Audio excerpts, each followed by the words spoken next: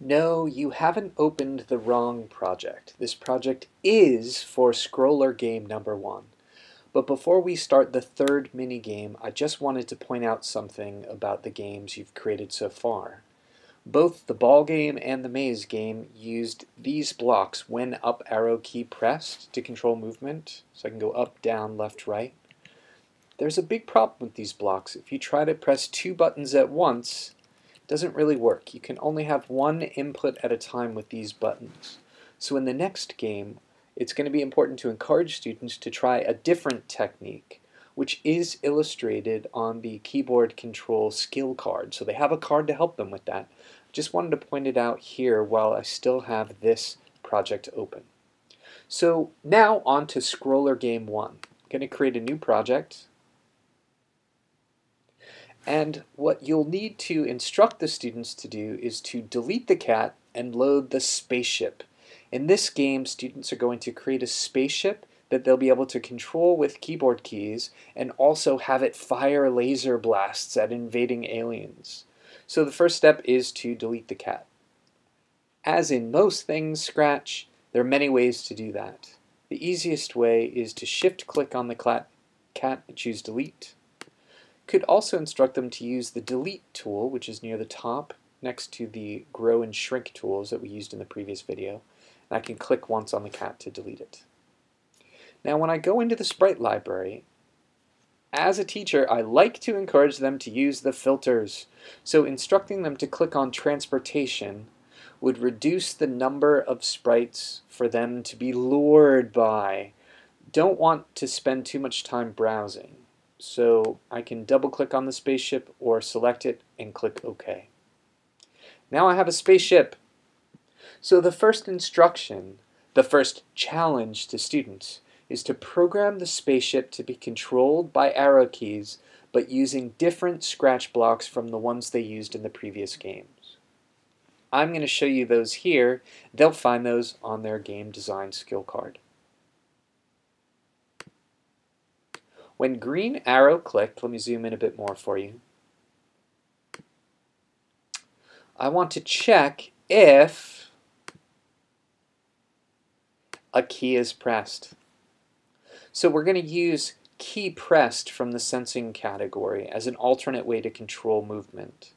This not only allows players to click more than one button at a time to do something, such as moving and firing the laser at the same time, it also generally leads to smoother motion in the games and allows control with the code that isn't possible with those other scripts. Did you notice when you used a stop all script before, player was still able to control their ship because those hat blocks are not dictated by the stop block. It means they'll always be able to run even if you don't have the green flag clicked. As a programmer, I don't like that so much. So I'm going to say if right arrow pressed. And it's probably a good idea to be encouraging students by this point to use X and Y values for movement. So I'm going to say instead of change direction and move, change X by 10. But what do I need here to make sure that it keeps checking? Because we're not using that when key pressed hat block that makes it into a loop. Yes, we need a loop. So forever, forever, if right arrow key pressed, change x by 10. I'll click the green flag and test it. It works. But of course that's the only direction because I haven't programmed the left direction yet. So I'm going to just shift click on the if, choose duplicate, and say when left arrow key pressed, what do we want to change x by? Of course, negative 10. Now I can go left and right. So the first challenge is pretty straightforward. It's just making sure that they're using different blocks to do that. Probably a good idea at this point to make my spaceship a little bit smaller. I think most students will want to do that. So I'll just use the shrink tool. There's no right or wrong answer for size and composition just doing something that looks good to me, and I want to uh, leave ample space to be able to fire a laser blast. I'll click stop and move on to challenge number two. program laser to shoot out of spaceship when spacebar is pressed. So the part that they know is how to trigger something with a spacebar, right? We'll just duplicate again, change to spacebar, and I don't want to change x by negative 10. If space car if space key is pressed, I want to fire a laser. But notice, laser is going to require a different graphic. It will require a different sprite. So that means you might want to put this code on a new sprite. So what I should do is find a laser sprite. Now this is an open-ended challenge. Students can decide whether they want to design their own laser or choose something from the sprites library. I always start with something simple so I think choosing something from the sprites library in this case is a little bit more simple. I'm going to say things to filter. Now I like this button too as a laser. It doesn't look like much of a laser now, but watch. If I click OK and then go to costumes, notice there's another costume which is much more fiery, a little bit more lasery. Although I don't like that outline so much. So I'm going to zoom in and show you one of my favorite tricks. If I use the Color a Shape tool, instead of coloring with a solid color, as is currently set up, watch, I can choose the empty swatch. That red line stuck through it. Now, it lets me fill with empty. So I can go to the outline that I don't want and click once to erase it. It's just a quick way to erase it. Now I have something that's a bit more lasery, although of course it's not oriented the way that I want it to be.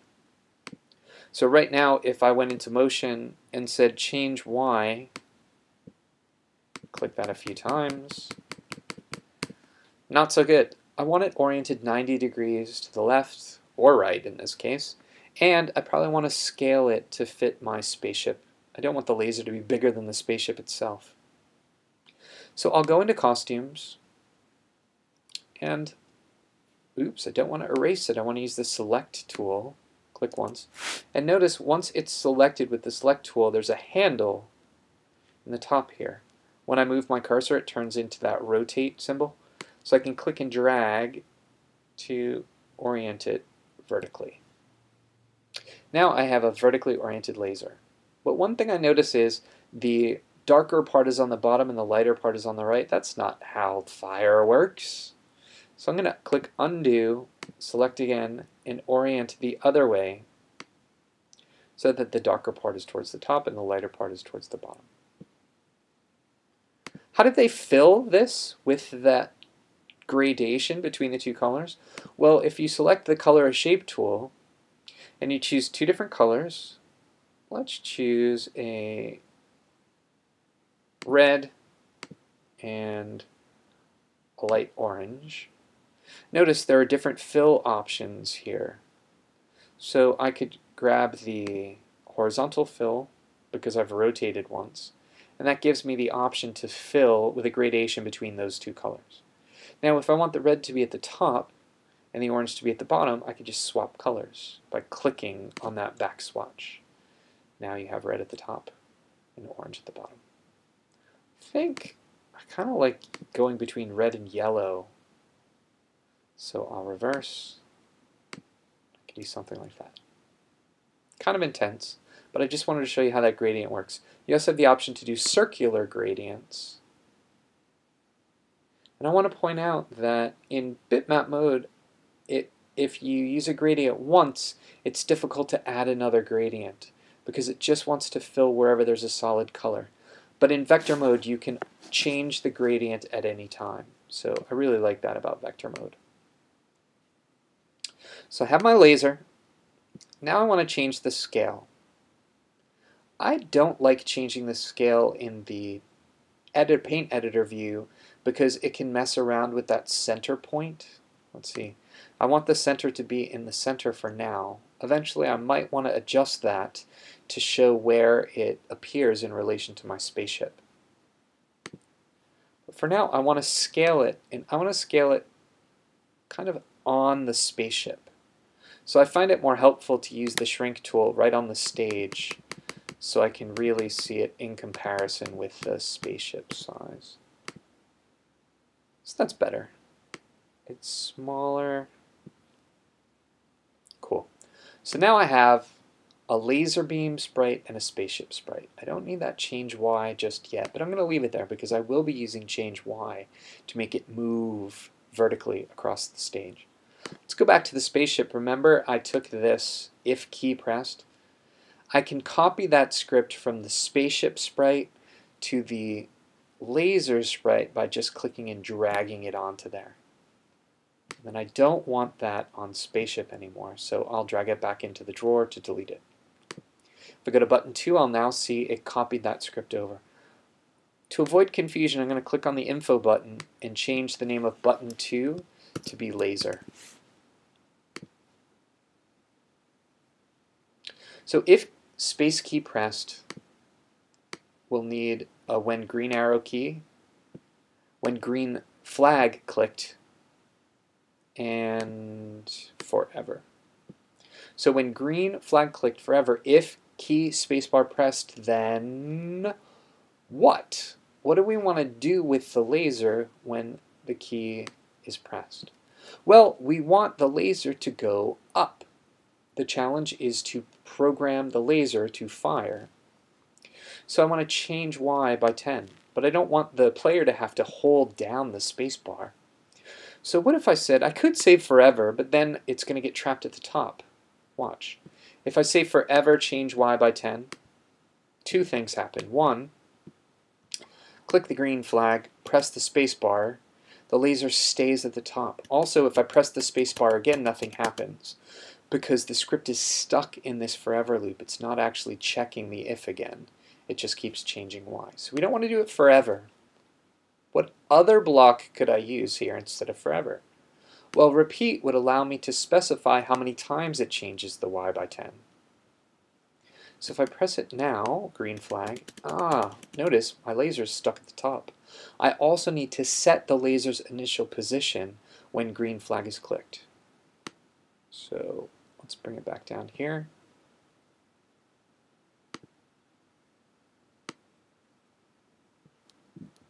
Go to x negative 29 and y negative 95. So now if I click, do space, and it moves 10 pixels 10 times, so 100 pixels. That's not quite enough. So maybe we should do, say, 30. Space. Ah.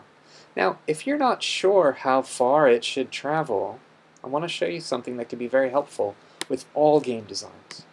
On the stage, if I go to the Backdrops tab and go to the Backdrop Library, scroll all the way to the bottom,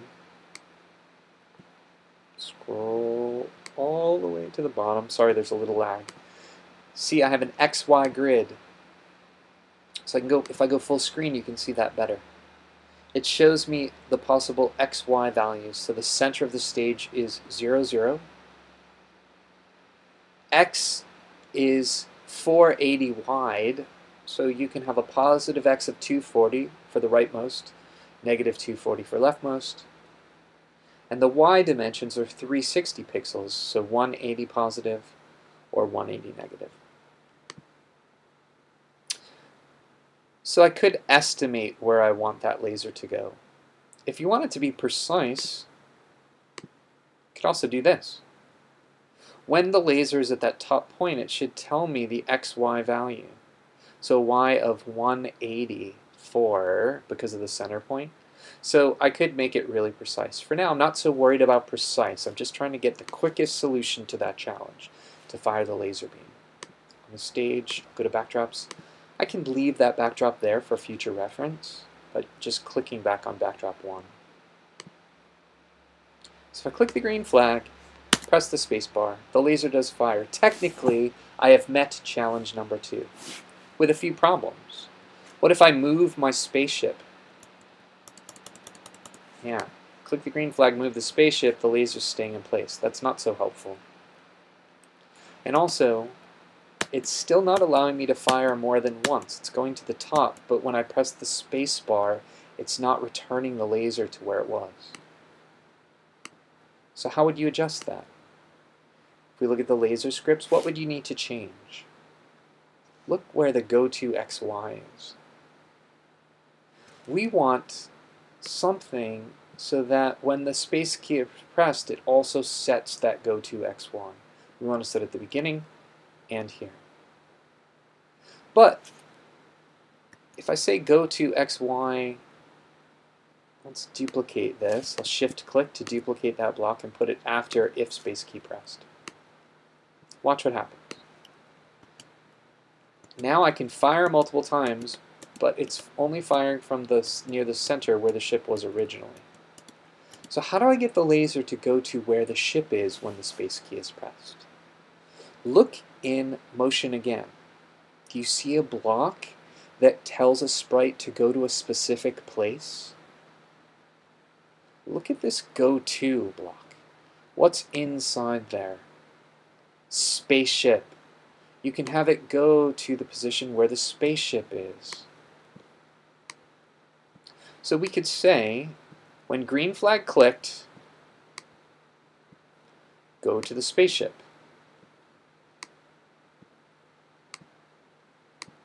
And if space key pressed, go to the spaceship again so that you can fire a laser again. Spaceship, right? Press the green flag. It does go to where the spaceship is, but I don't like that I can see it on top of the spaceship. And did you see what happened at the beginning of the game? Click the green flag. It's going to where the spaceship is, but then staying there. So you've already learned a block in the looks category that could fix that we want to hide the the um, laser at the beginning. So it could go to spaceship, but we want it to be hidden. And then we would want it to show when the space key is pressed, right? So show here. But I think it should go after it goes to spaceship so that we don't see it while it's kind of in between. Now click the green flag, move my spaceship, press the fire, and it works. But see how the laser is still appearing in front of the spaceship and it's not at the top, it's kind of in the middle as if it was firing out of the window or something. So there are a few ways to fix that. One is for the laser, you could say go back a layer. Or on the spaceship, we could say go to front. That way we make sure that the spaceship is in front of any other sprites on the stage. So I can press space, But if the spaceship is moving, see, the laser's appearing kind of behind the spaceship, which I don't like so much. So how would I have the laser appear at the top of the spaceship? Well, I'm going to click the green flag once so that it goes to where the spaceship is. Maybe it would be easier for students if the spaceship and the laser both started in the center. So you could say at the very beginning of the game, go to x, oops, x0. The y can be whatever it is now for the spaceship. That's not a big deal, right? And then the laser, I want to say also the x to 0. I'm not so worried about the y because it's going to go to where the spaceship is. So click the green flag, and they should both be at 0 now. But just to be sure, I'm going to click set x to 0 for the, see, I'll click set x to 0 for my laser. I also want to show the laser for a minute. So I can just click on sh the show block so that it appears. Of course, it's hidden because it's behind my spaceship. So in costumes, what can I do so that this laser will appear, when it goes to spaceship, it will appear a bit higher? I can just move it. So I'll click once on it, and remember what keys can I use on the keyboard to nudge that laser? Up arrow. So I'm going to hold the up arrow key down. I'm moving it in this view.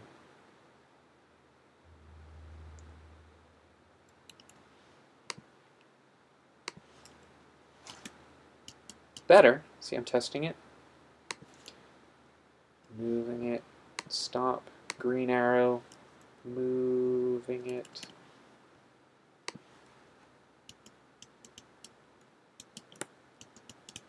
Want it to be really close to the top. So again, I'm going to nudge it even more vertically. Because it's using the center point to determine where the spaceship is and where the laser is. So when it tells laser to go there, it's really saying, laser, you should go to where your center point lines up with the ship's center point.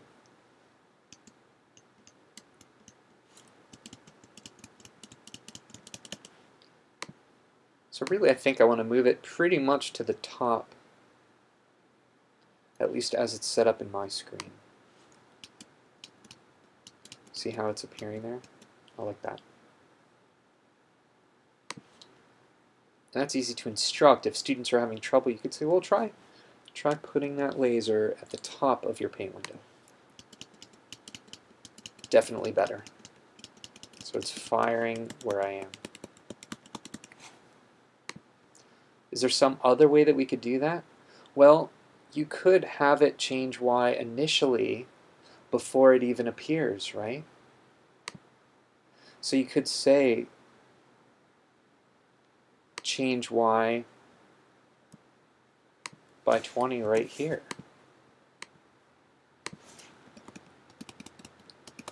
Now it is appearing above the spaceship. So two totally legitimate ways to do it. Pretty cool. Now there's a more advanced way to do this that works much better and would allow you to fire multiple lasers at once. But that comes later. That's going to be challenge 6. For now, let's say that they've accomplished challenge number 2, programming laser to shoot out of spaceship when spacebar pressed. In the next challenge, they're going to be adding enemies that disappear when struck by a laser but I think this is a good amount for this video. So I'm going to stop this video, and in the next video go through challenges 3, 4, 5, and 6.